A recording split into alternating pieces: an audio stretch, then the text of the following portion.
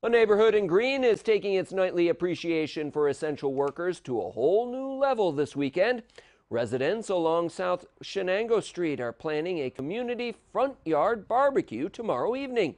There will be 300 free meals distributed to neighbors as well as any frontline workers from the surrounding area, such as healthcare employees, first responders, letter carriers, and grocery store clerks.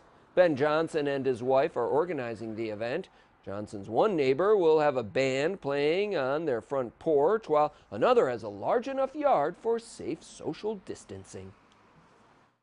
We're going to mark off some squares so people want to wiggle around a little bit, they'll be able to do that. Um, we're just tired of looking at each other, and we want to get out and uh, revisit with our neighbors. And we won't be able to see their smiles behind the masks, um, but we'll be able to hear them from six feet away. When Johnson's employer, Mirabito Energy Products, heard about his plans, the company stepped up to provide all of the meals, which will consist of a hot dog, baked beans, potato salad, and a cookie.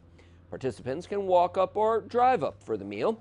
The event begins at 6 p.m. and then at 7, the neighborhood will continue its evening habit of honoring essential workers by cheering and making noise while being led by neighbor Joe Eggleston on a snare drum.